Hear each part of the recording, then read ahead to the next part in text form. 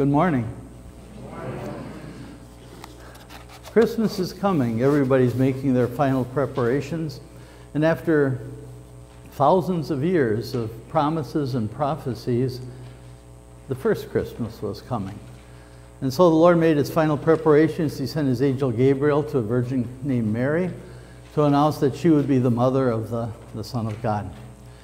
And we'll meditate on that this morning as we now come to the fourth Sunday of Advent and Christmas comes near. So, God bless your worship this morning. Please stand. We'll begin with our opening song, our Advent gathering song.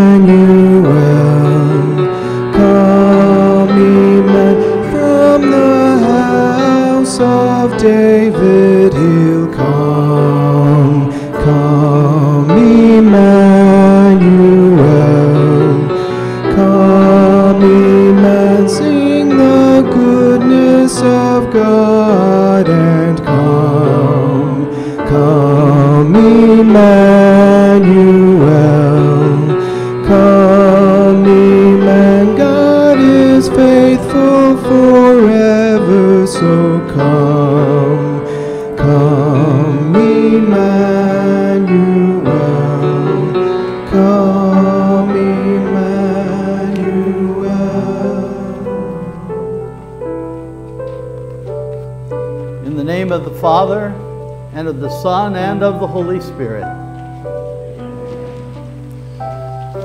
Beloved in the Lord, let us draw near with a true heart and confess our sins to God our Father, asking Him in the name of our Lord Jesus Christ to grant us forgiveness. Holy and merciful Father, I confess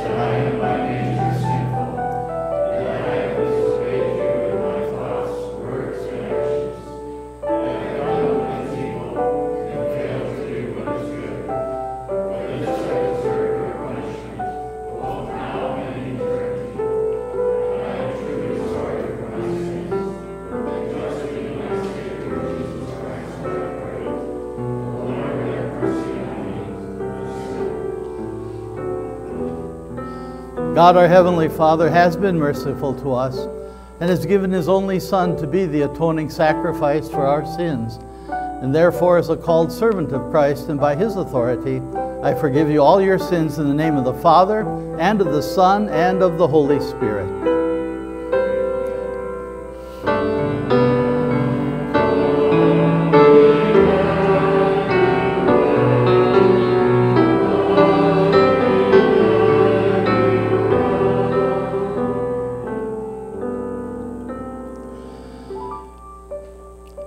Up your power, O Lord, and come.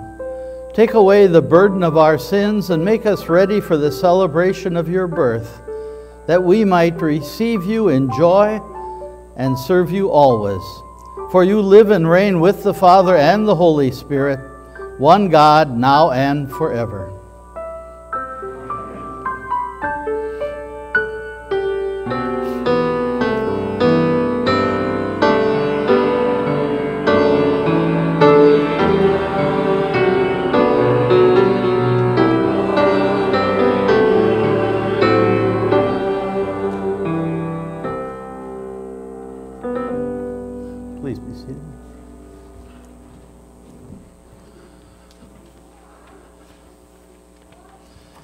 Reading this morning from 2 Samuel brings to our attention once again the covenant the Lord established with King David.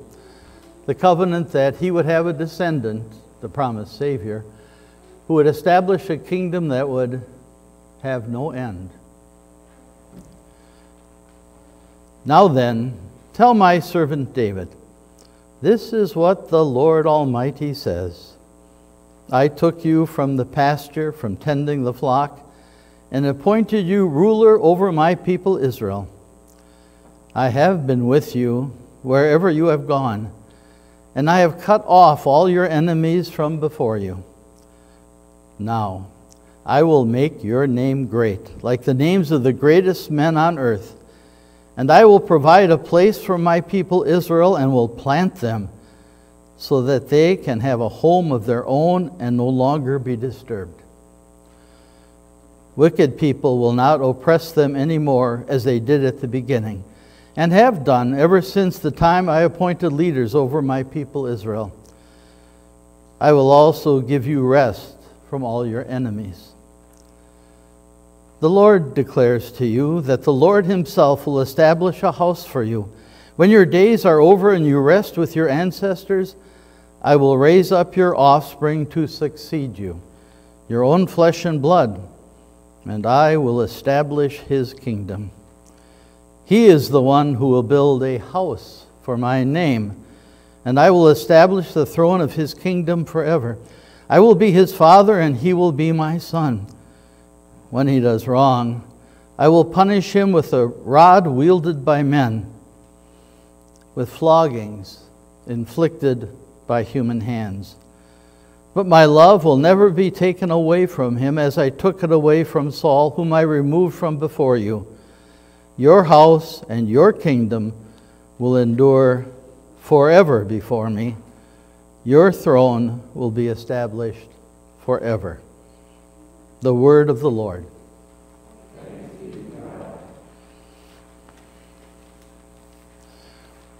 We light four Advent candles remembering Jesus, the Son of God and Son of Mary. He came to share our humanity.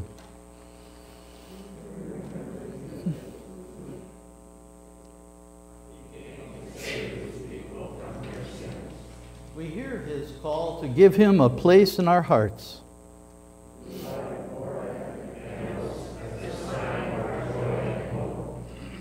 Come, Lord Jesus, be our guest.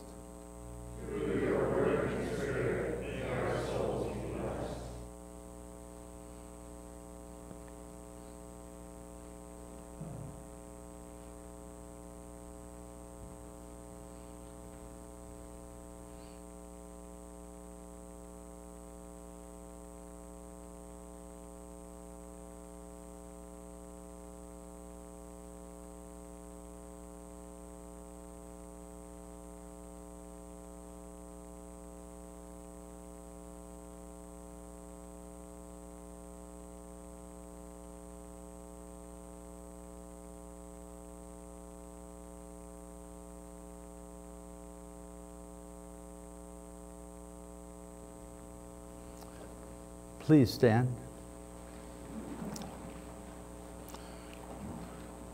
We hear the gospel account of the Annunciation.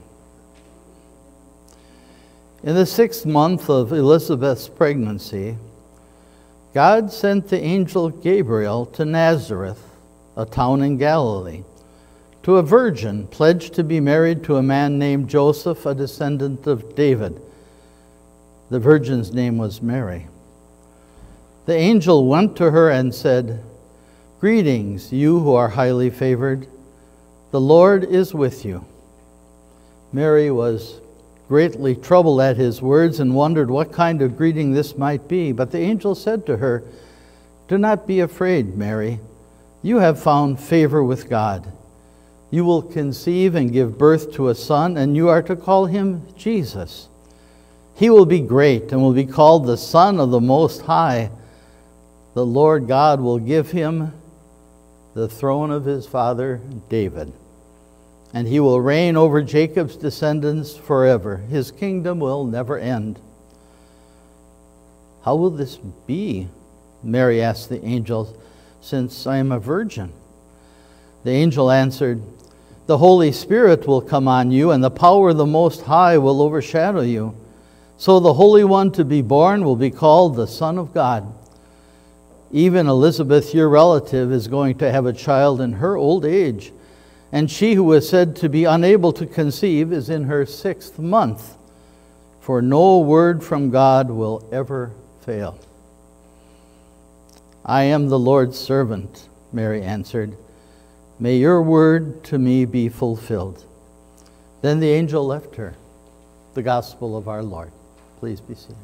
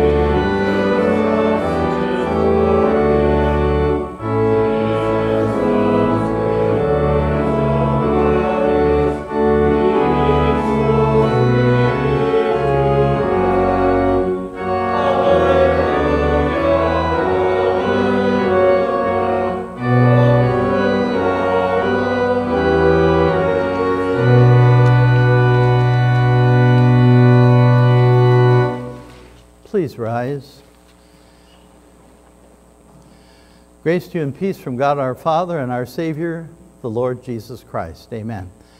Our Word of God this morning is uh, selected verses from Psalm 89, a maskil of Ethan the Ezrahite. I will sing of the Lord's great love forever. With my mouth I will make your faithfulness known through all generations. I will declare that your love stands firm forever, and you have established your faithfulness in heaven itself. You said, I have made a covenant with my chosen one. I have sworn to my servant David. I will establish your line forever and make your throne firm through all generations.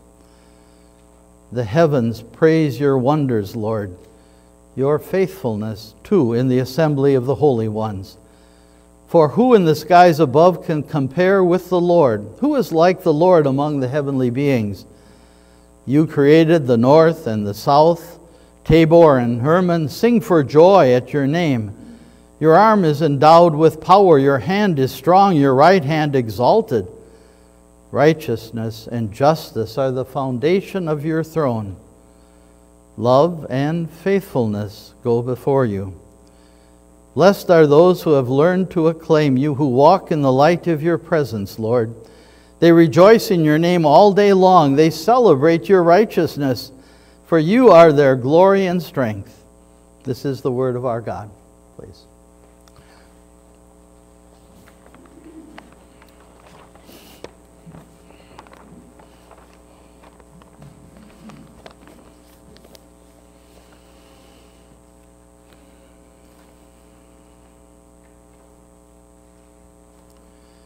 Who was he?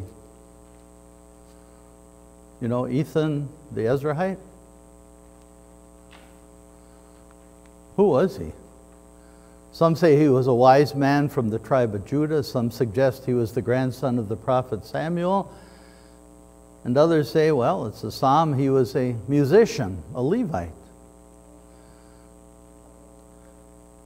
The Psalms were written by different people over centuries, actually. Many by King David, and there was one written by Moses, there was one written by Solomon, there were Psalms written by the sons of Asaph, the sons of Korah, excuse me, and Asaph himself, and this one by Ethan the Ezrahite. They were written by different people at different times, in different situations, for different occasions. They were written to be sung to different tunes and played on different musical instruments, but they all continued to repeat a central theme again and again and again. A theme that we see repeated in the heart of the Virgin Mary this morning, a theme that fills our songs of praise to God as well. We began, didn't we, by uh, the angel uh, or the, the Lord sending uh, the, the prophet uh, Samuel to, to David to tell him that God was going to make a covenant with him. It would be a one sided covenant, it wouldn't be two. There was no obligation to, to David, but the Lord said, I am going to establish your line. The promised Savior is going to come as a branch of your family tree. He's not only going to be your Lord, he's also going to be your son. I'm going to establish your royal line. And his kingdom is going to be a very special one. It's not going to have any boundaries, and it will never end.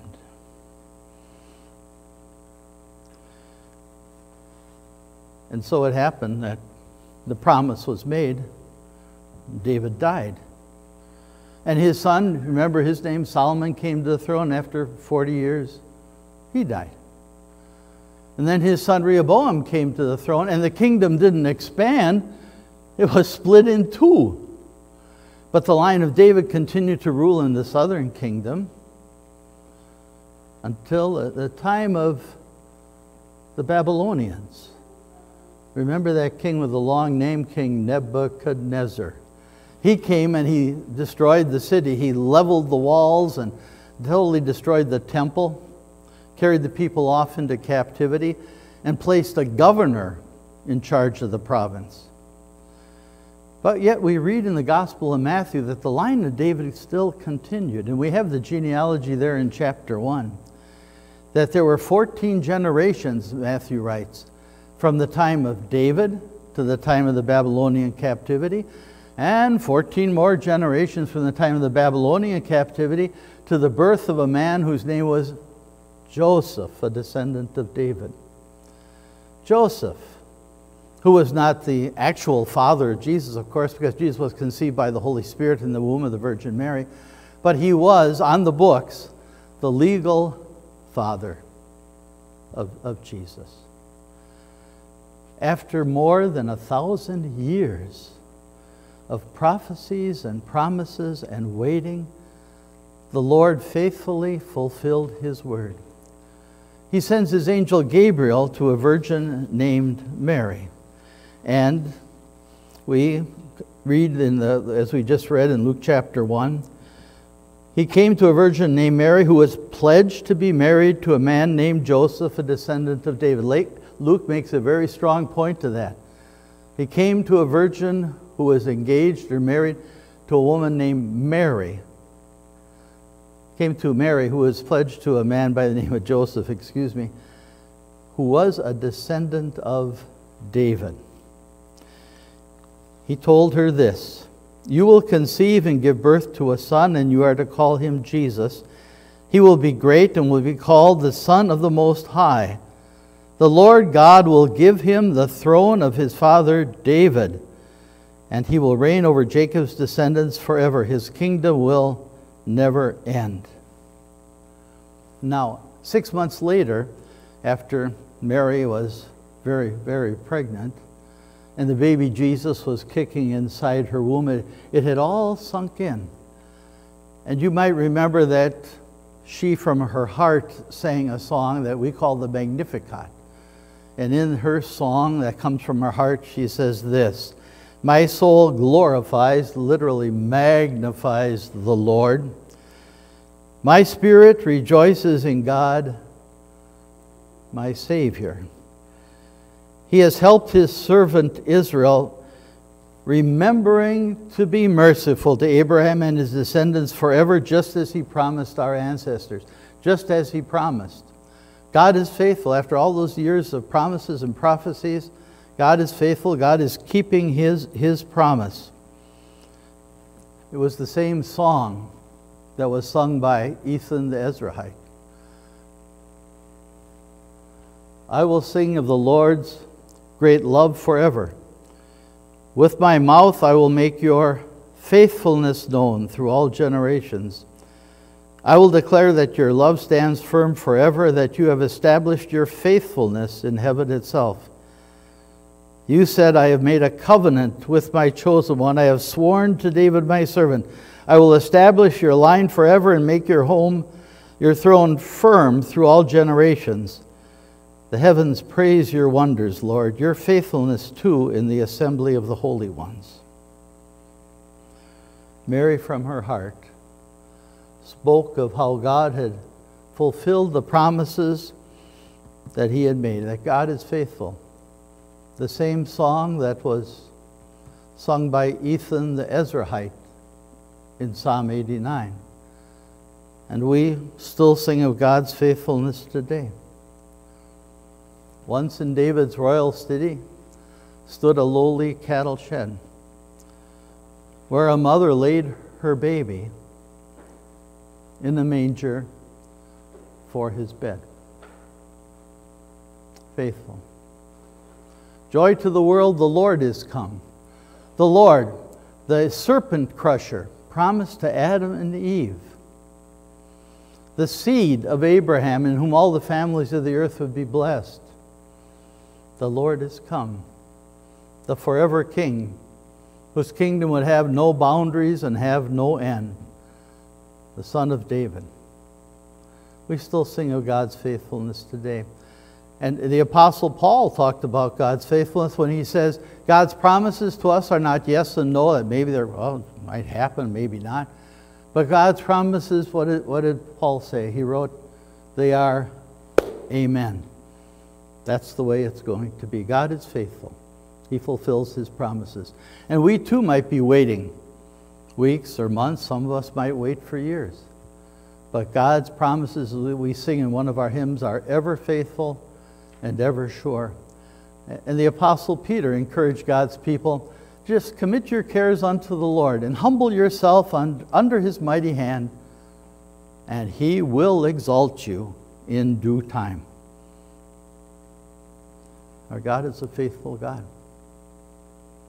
Faithful. Someone on the other side of the world, we'll just pick a country, we'll just say Japan writes out a little Christmas message for you and signs it with love, have a blessed Christmas, and, and puts that, that Christmas uh, note and card in, in an envelope and, and takes it to the post office. And it's put on a truck and it's taken to an airplane and then it is flown over billions and billions of people to the city of Atlanta, to Hartsfield Jackson Airport, a city of 5 million.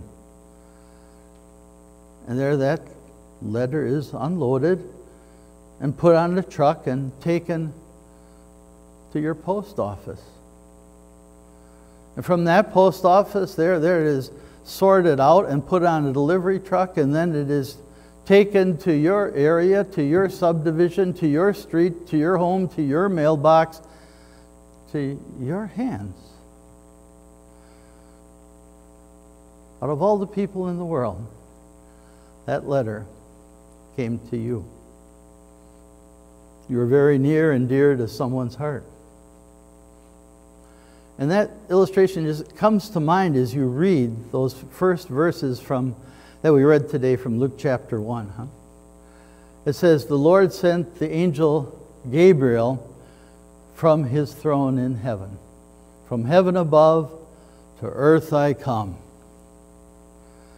And he came to a little country, on the eastern end of the Mediterranean Sea. And it says he went to a province in that country by the name of Galilee. And in, in Galilee, he went to one of its towns, a town by the name of Nazareth. And he went and he found a woman. And he, he found a virgin. And not just any virgin, but a virgin who was to be married to a man whose name was Joseph, a descendant of David. And the angel comes and appears to her and says, Mary, greetings. And she is confused, and obviously, if an angel appeared to us, we would be the same. But the angel says to her,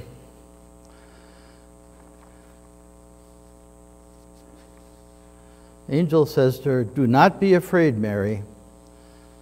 You have found favor with God. Literally, you have found grace, the word favor. You have found grace, that special undeserved love that none of us deserve. We, we sinners do not deserve from, a, from the hands of our gracious God, but He gives it to us anyway. Undeserved love. You have found favor with God out of all the women of the world, out of all the virgins here in the Holy Land. You have been chosen to be the mother of the Son of God. And after all that, it once again it, sank in, in her Magnificat, Mary would sing of that grace. Not in that word itself, but just listen to what she said in her Magnificat. My soul glorifies the Lord. My spirit rejoices in God, my Savior. For he has been mindful of the humble state of his servant. From now on, all generations will call me blessed, for the mighty one has done great things for me. Holy is his name. His mercy, his love is grace. His mercy extends to those who fear him from generation to generation. That was Mary's song about God's grace that he had chosen her. It's the same song that one of God's chosen people, a man by the name of Ethan the Ezrahite, sang years before. It was about God's grace, about his love. And we, we read uh, the first couple verses here, and then beginning at verse 14. I will sing of the Lord's great love forever. With my mouth I will make your faithfulness known through all generations. I will declare that your love stands firm forever, that you have established your faithfulness in heaven itself. Righteousness and justice are the foundation of your throne.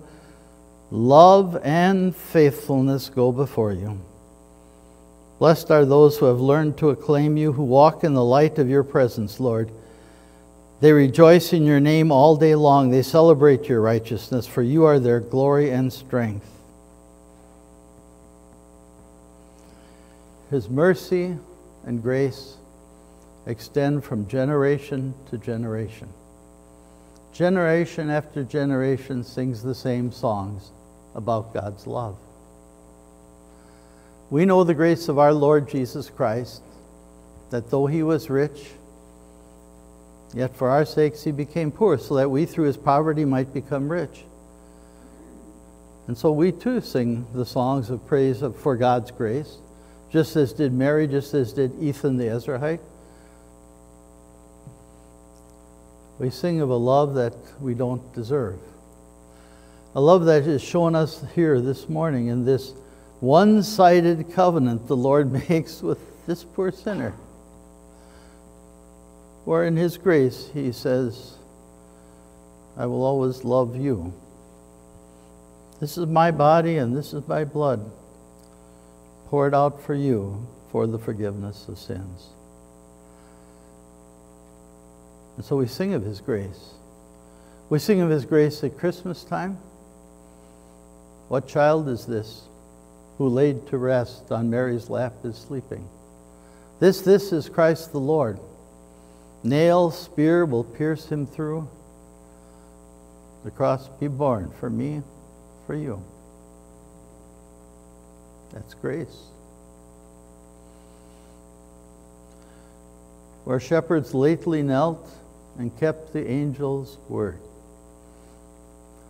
How can I, will I forget how love was born? How love was born and burned its way into my heart, unasked, unforced, unearned. A still small voice to cry one day for me. A still small voice that will cry one day, My God, my God, why have you forsaken me? A still small voice that one day will cry, It is finished. A still small voice will cry one day for me. And that's grace. Yesterday afternoon, there was a funeral in South Atlanta. Gary and Mary were members here before we had this church, before we had our church building over in Alpharetta. They were sort of right there at the beginning of Beautiful Savior. And after a few years, they moved away. They moved overseas. They came back and they established a home in South Atlanta, member of Pastor Schrader's church there, Faith in Sharpsburg. And Mary's mom came to live with her, Mrs. Koenig.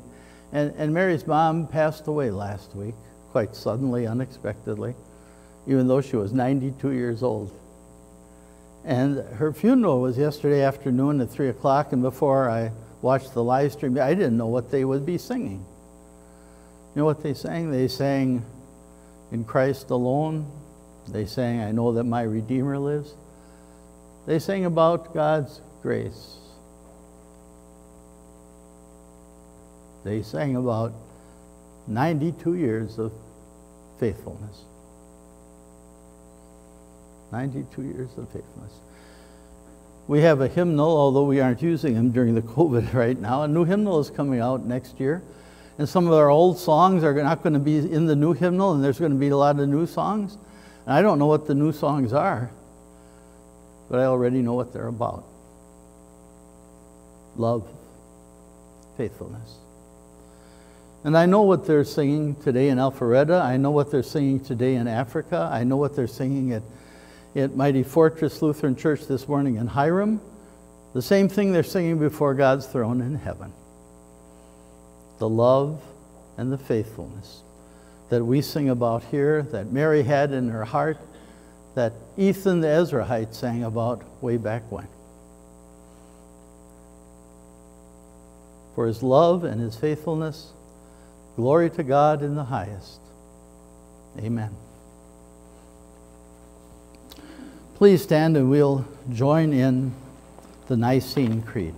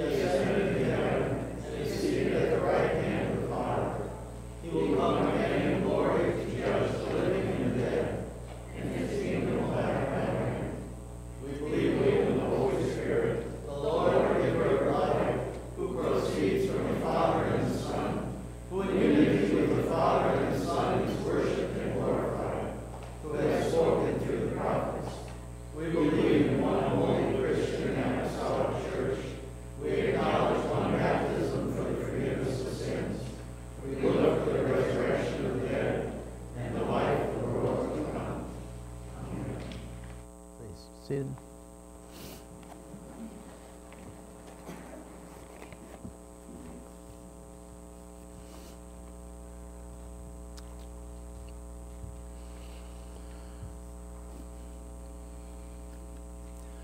peace, let us pray to the Lord.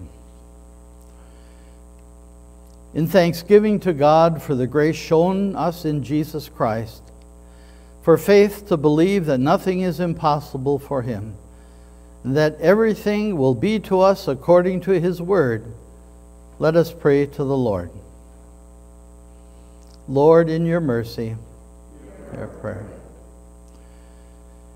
For faithful preachers of the gospel, for their safety and for blessing on their efforts, for our synod president, our district president, and circuit pastor, and for the holy Christian church on earth, that God would strengthen it in every place.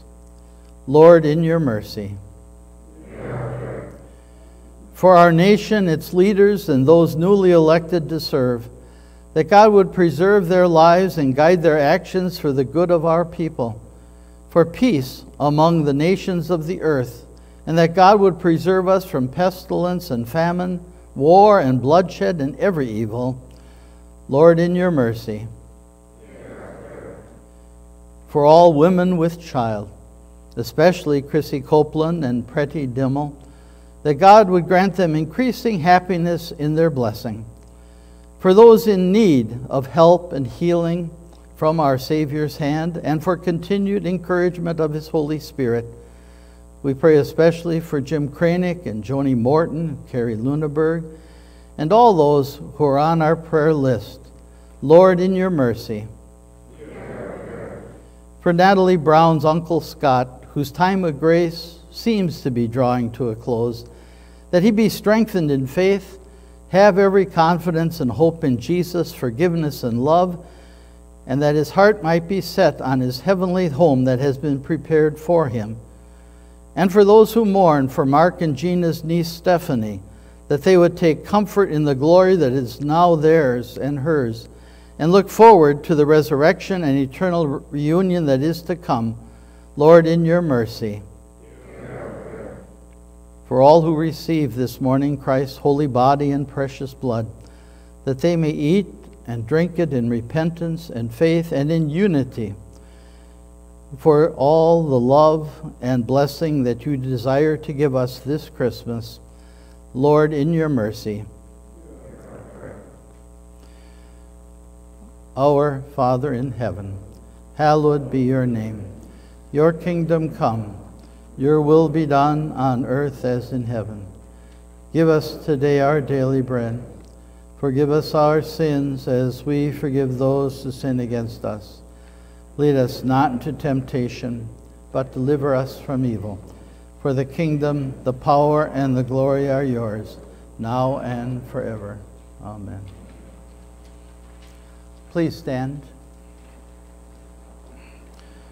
The Lord be with you. With you. Lift up your hearts. Let us give thanks to the Lord our God. Our Lord Jesus Christ, on the night he was betrayed, took bread. And when he had given thanks, he broke it and gave it to his disciples, saying, Take and eat. This is my body, which is given for you. Do this in remembrance of me. Then he took the cup, gave thanks, and gave it to them, saying, Drink from it, all of you. This is my blood that is poured out for you for the forgiveness of sins.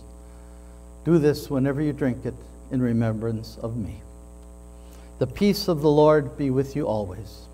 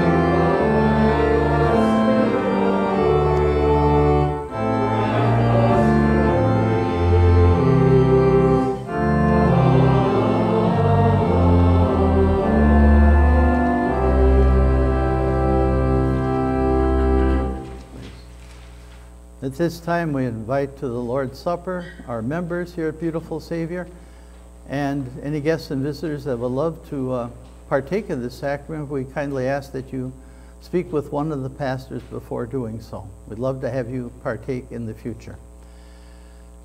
You'll find the uh, distribution hymn printed for you in the worship folder. Come, for all things are now ready.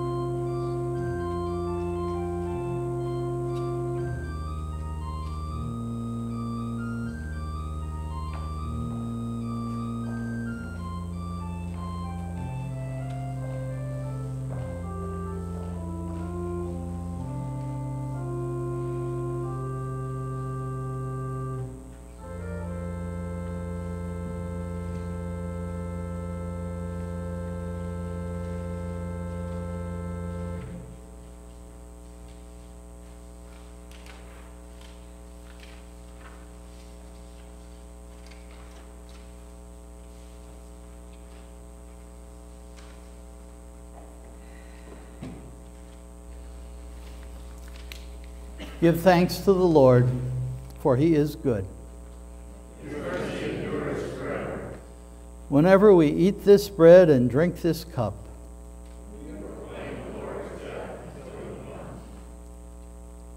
we give thanks, Almighty God, that you have refreshed us with this saving gift. We pray that through it you will strengthen our faith in you and increase our love for one another. We ask this in the name of Jesus Christ our Lord, who lives and reigns with you and the Holy Spirit, one God, now and forever. The Lord bless you and keep you. The Lord make his face shine on you and be gracious to you. The Lord look on you with favor and give you peace. Amen.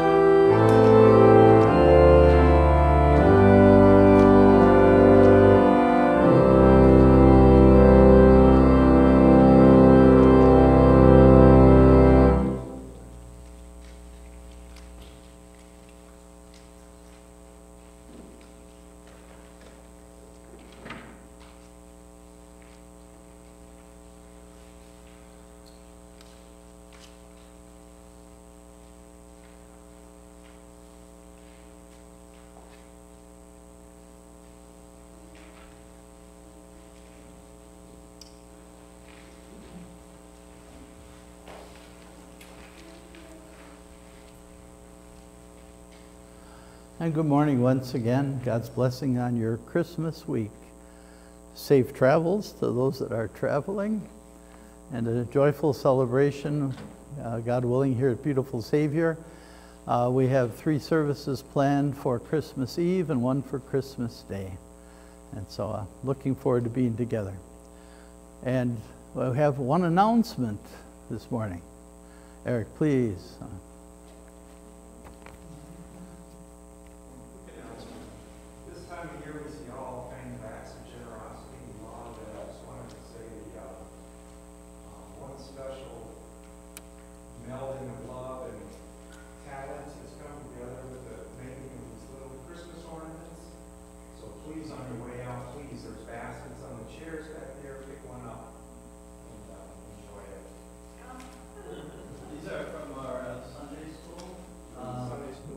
School, and so please, by all means, and uh, made with, and what I was going to say, and also by, from the hand of a very wonderful wife. I know how that all works. I know how that all works. So uh, pl please pick one up. And if you noticed, now children, I, I know you'll want some ornaments too. I noticed there were four candies in each bag too. I, so I get to get mine first because I go back there. So, God's blessing.